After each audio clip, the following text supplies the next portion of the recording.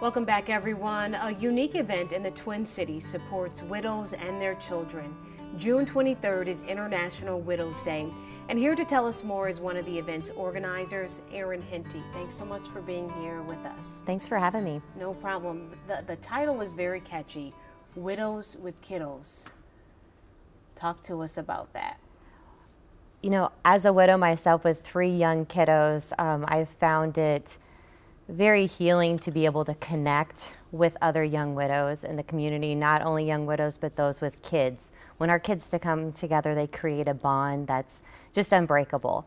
So as I was just, you know, just trying to think of ways in which we could get them together, um, I came up with the idea for the picnic um, as an opportunity to shed some light on you know the widow community as well as you know lead widows who haven't been connected with other um, widows together to be able to find that connection the healing the community an opportunity for our kids to really um, create those bonds that they don't have. Right. No matter how painful sometimes life is the best teacher and experience and i'm sure you all when you come together can share helpful techniques to move forward yeah, absolutely. So this is really an opportunity not only to kind of share our stories with one another, but also find out what else is out there, like what's next. Mm -hmm. how do we keep moving forward each day? Sometimes it's so difficult just know how to know how to get through the day, the day, but to have the support and to know that there's wonderful organizations out there as well that are not only supporting this event, but supporting us each and every day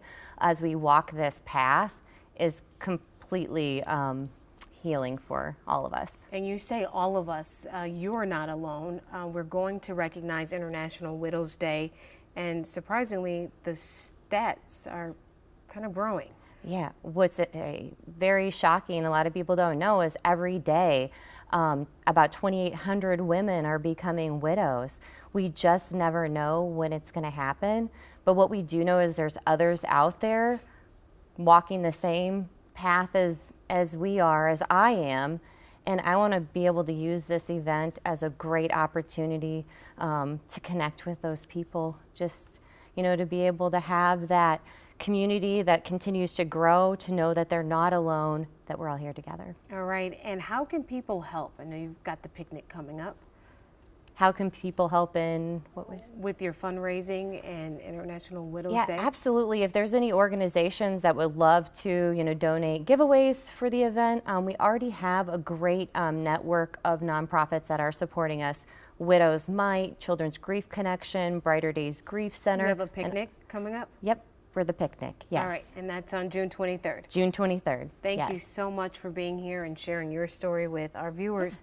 Again, that picnic is one week from Sunday, June 23rd, at Minnehaha Regional Park.